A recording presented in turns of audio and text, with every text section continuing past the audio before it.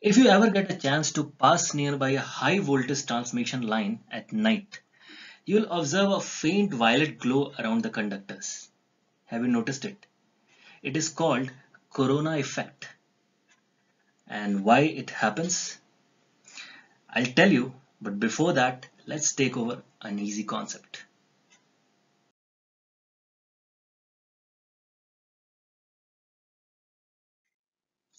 We already know that there is an electrostatic force between two charges, right?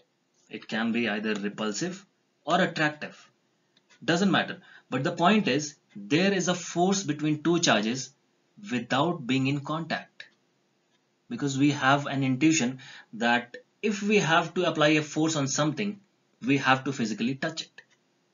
But charges are exerting force on each other without being in contact.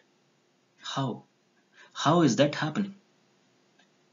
Well, this was a big concern for many scientists, but one of the famous scientists known as Michael Faraday told that any charge creates an electric field around it and because of the interaction of the electric field and the charge, this force is generated.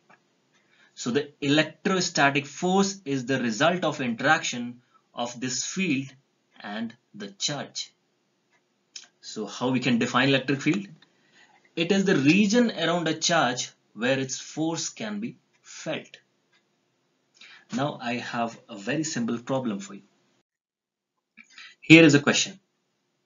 We have a charge say x and at some distance r from the x there is another charge q and we have been given a table here it is saying that if we are keeping 2 coulomb of charge in place of q the force on it is 40 newton for 4 coulomb it is 80 newton and for 6 coulomb it is 120 newton now you have to calculate what will be the force at the same point if we are keeping 7 coulomb or 8 coulomb of charge. Forget about electrostatics. I think you can solve this using unitary method. What you have to do is you have to calculate force on 1 coulomb of charge, right? Which is 20 Newton. And after you have calculated force on 1 coulomb, it is very easy to calculate the force on 7 coulomb of charge which is 140 Newton and similarly on 8 coulomb of charge, right? And if the question has been asking like find the force on 9 coulomb of charge, 10 coulomb or even 20 coulomb, 50 coulomb, you, you can easily find it, right? Now comes the electrostatics. Let's say we have a positive charge Q and at some distance r from it there is a 1 coulomb of charge. What will be the force exerted by Q on 1 coulomb? First of all, both are positive charges and that's why there will be a force of repulsion. And what will be its magnitude? Well, from Coulomb's law, we know that F is equal to KQ1 Q2 by R square. This is the force between two charges, right? So from that, we can write the force on 1 coulomb of charge here as KQ into 1 by R square, correct? Which will finally be KQ by R square. Now let's make a circle here. This circle is of radius r. And since it is a circle, every point on the circumference is at same distance from the center. That means if we keep 1 coulomb of charge at any point on the circumference, it will be at same distance from Q. Correct? And it will experience a force radially outwards right? And the magnitude will be kq by r square on each of the charges. If we are taking 1 coulomb of charge and keeping them on the circumference of this circle, the force on all of them will be kq by r square. Now this is a 2D model. We are experiencing things in two dimension. Let's see in three dimension space. Now imagine a spherical surface around the charge. This is an imaginary spherical surface and at the center of which there is a charge q. Let's say there are infinite number of points on this spherical surface and at few of the points we are keeping 1 coulomb of charge. How much force they will experience? It will be same kq by r square, right? Every point on this sphere is at a distance r from the center. That means if we keep 1 coulomb of charge anywhere on this surface, it will experience same force. Correct? So what we have? On this imaginary surface, 1 coulomb of charge is experiencing a force of kq by r square. What will be the force on 5 coulomb of charge? It will be force on 1 coulomb of charge multiplied by 5, right? And the expression is kq by r square into 5. And if we apply Coulomb's law here, then also we'll get the same expression correct? Now let's bring back our imaginary sphere. On this spherical surface, 1 coulomb of charge is experiencing kq by r square of force.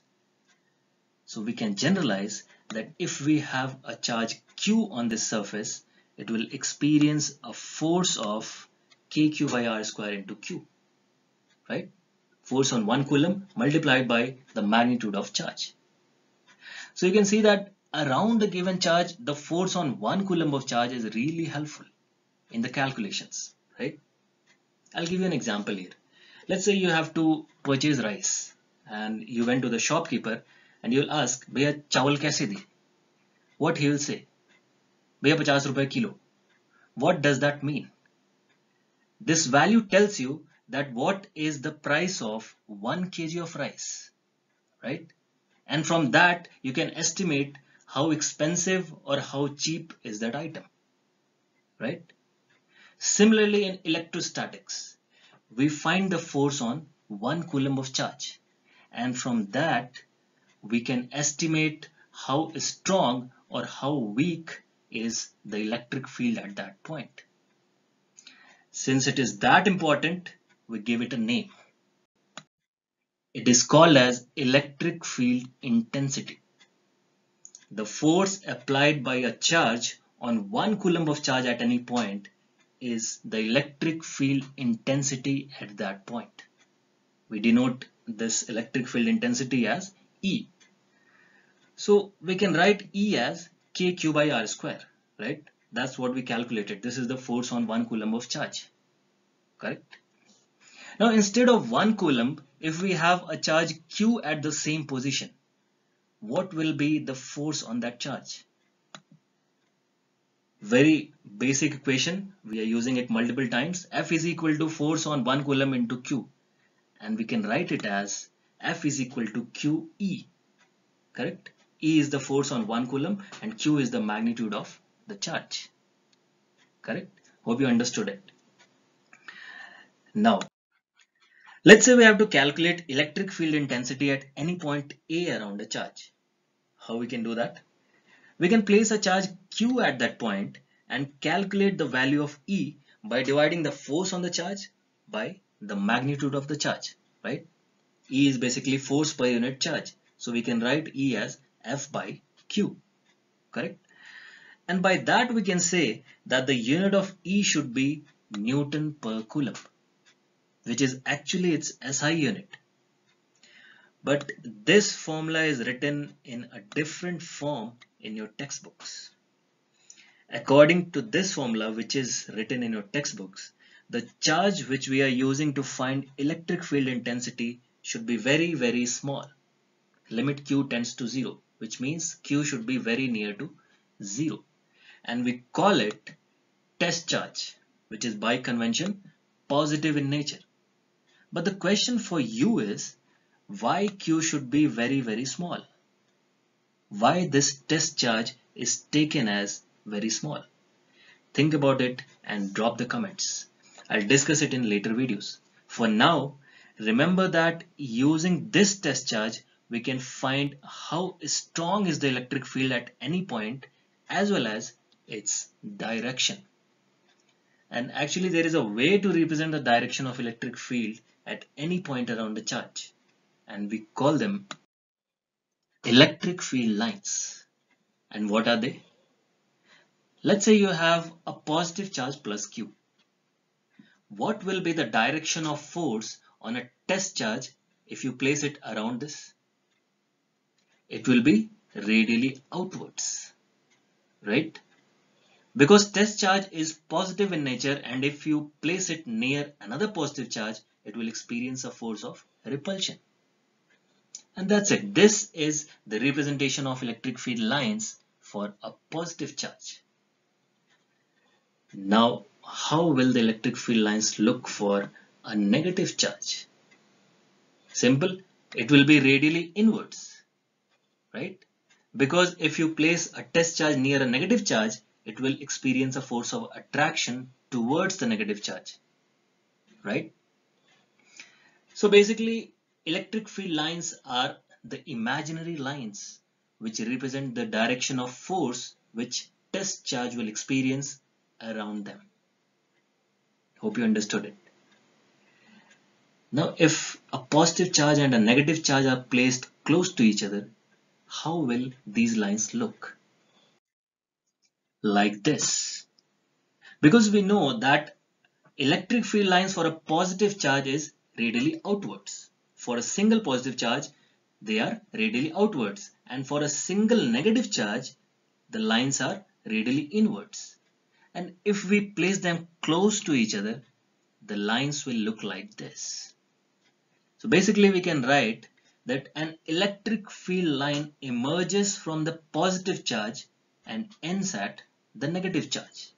And if we have to find the direction of electric field at any point, what we have to do is draw a tangent at that point and that tangent will represent the direction of electric field at that point. Now if you notice, electric field intensity has a magnitude as well as direction. What does that imply? Electric field intensity is a vector quantity, correct? And if we resolve and find the resultant of all the electric field vectors around these two charges, we will get a picture like this. This is the actual electric field vector which starts from positive and ends at negative. Now let's increase the level. What if we have a material or a medium in between these charges? How is it going to affect the electric field intensity? We know that the material is neutral in nature, right? Number of electrons is equal to number of protons inside this medium. Now because of the presence of a positive and a negative charge, there will be a separation of charges inside this material. Right? Protons will lean towards negative charge and electrons will lean towards positive charge. But they cannot separate out of the atoms so they will form local clouds inside the material. And each of these clouds will have a separation of positive and negative charges. And this local separation of charges is called polarization of the material. Now each cloud can generate its own electric field from positive to negative, right? And if we combine the electric fields of all the clouds, there will be a net electric field EP which is going to oppose our actual electric field E right? What does that mean? This means that there is an opposition to our actual electric field E because of which there will be a reduction in the net electric field, right? So we can say that if we place a medium in between the positive and negative charges, there is a reduction in electric field intensity. And this property of a medium is called as permittivity. Permittivity is actually a measure of the polarizability of a material. Now if we have more permittivity of the material, there will be more polarization. And if there is more polarization, there will be more reduction in electric field. Right? And this is what I was discussing in previous video when I made a video on electrostatic force. So permittivity is a resistance to electric field or it is an obstruction to the electric field due to polarization of the material. Now comes our question. Why do we see a faint violet glow around a high voltage transmission line? So the reason for that is ionization of air surrounding the transmission lines due to very high electric field. Because a high voltage line contains immense amount of charges and because of that there is a very high electric field around the conductors which causes the ionization of air and because of which we see this faint violet glow and this effect is called as corona effect. And if you want a detailed video on corona effect drop the comment. I'll make another video on this. Till then stay safe and take care. Now if this video looks interesting to you just like share and subscribe and hit the bell icon. For any queries you can drop a mail at slidescreen at gmail.com